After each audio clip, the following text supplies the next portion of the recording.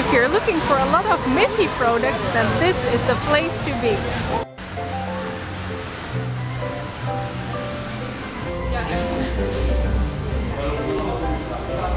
In Dutch, Miffy is actually called Nijntje, but that's a bit hard to pronounce if you're not Dutch.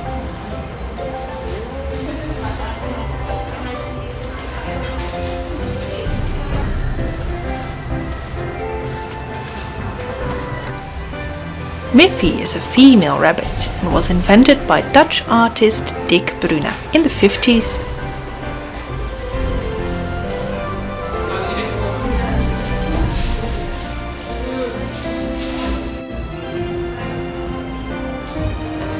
Bruna sold over 85 million copies of his Miffy books in around 40 different languages.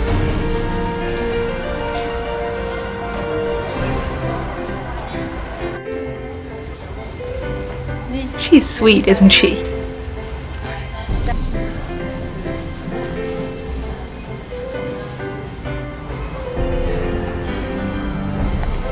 Enough souvenirs of Miffy and her friends to be found here,